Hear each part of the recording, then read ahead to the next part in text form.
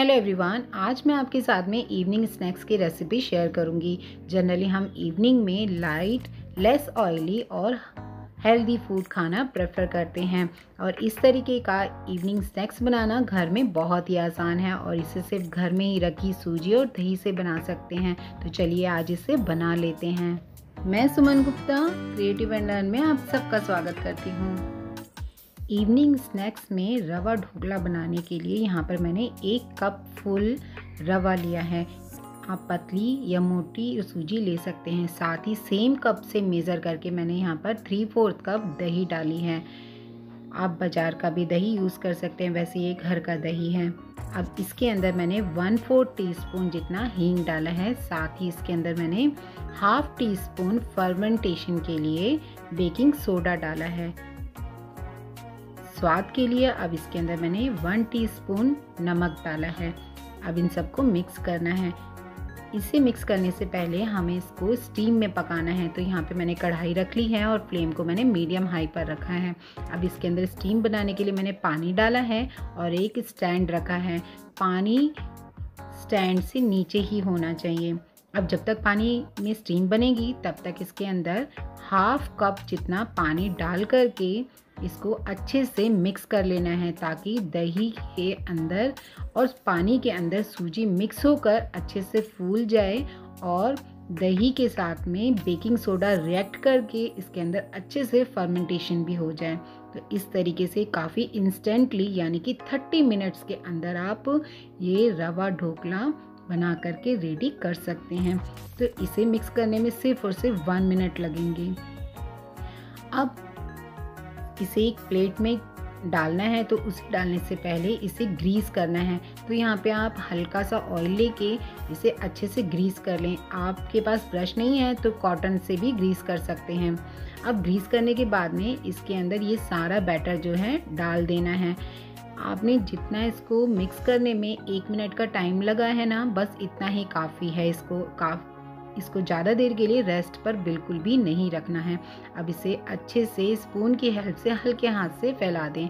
अब इसके ऊपर ब्लैक पेपर स्प्रिंकल कर दें और साथ ही रेड चिली पेपर जो है, यानी कि पाउडर लाल मिर्ची पाउडर उसको भी इस तरीके से स्प्रिंकल कर दें। इसे देखने में काफ़ी सुंदर लगता है। अब देख रहे हैं ना कि कढ़ाई में किस तरीके से स्टीम बन गई है, यानी कि धुआँ उठ रहा है पानी का। तो इसे केयरफुली इसके अंदर रख दें प्लेट को और इसे फिर ढक कर के 15 मिनट के लिए रख दें। इस तरीके से काफ़ी अच्छे से मीडियम हाई फ्लेम पर 15 मिनट के अंदर ये पक कर के रेडी हो जाता है। साइड बाय साइड आप चाय भी बना सकते हैं या फिर चटनी भी बना करके रेडी कर सकते हैं। वैसे मैंने इसको अब टूथपिक डाल करके चेक कर लिया है पंद्रह मिनट के बाद में और इसका ये टूथपिक काफ़ी क्लीन होके निकल गई थी तो मैंने फ्लेम को ऑफ़ करके अब इसे साइड में बाहर निकाल लिया है। देख रहे हैं ना कि कितना इजी है इसे बनाना। अब यहाँ पे मैंने इसके अंदर तड़का लगाना है तो यहाँ पे मैंने एक पैन रखा है लो फ्लेम पर और इसके अंदर टू टेबल स्पून जितना तेल डाला है। अब आप कोई सा भी ऑयल इसके लिए यूज़ कर सकते हैं। यहाँ पे मैंने हाफ़ टी स्पून सफ़ेद तेल डाले हैं, साथ ही वन फोर टी स्पून राई डाली है। इसका तड़का बहुत ही अच्छा लगता है। अब इसको अंदर मैंने थोड़ा सा बारीक धनिया काट करके डाला है।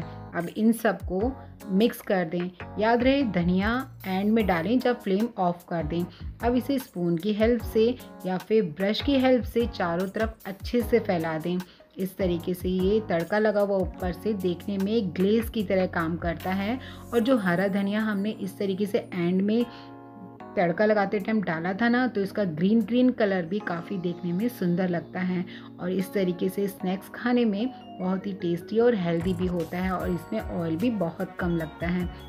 देख रहे हैं ना इवनिंग टाइम पर इस तरीके का स्नैक्स बनाने के लिए ये स्नैक्स काफ़ी इजी है।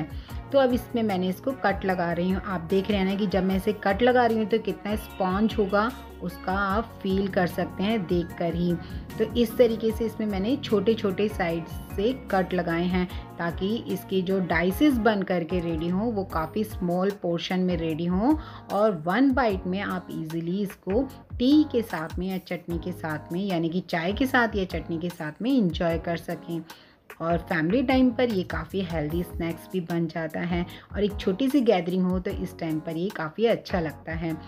तो आप देख रहे हैं ना कि कितना स्पॉन्ज बना हुआ है, ये जालीदार देख रहे हैं कितना है और नीचे से भी परफेक्ट जालियाँ बनी हुई हैं। देखा ना कितने कम समय में ये हेल्दी स्नैक्स घर पर बनकर रेडी हो गया, जैसे कि रवा ढोकला कहते हैं।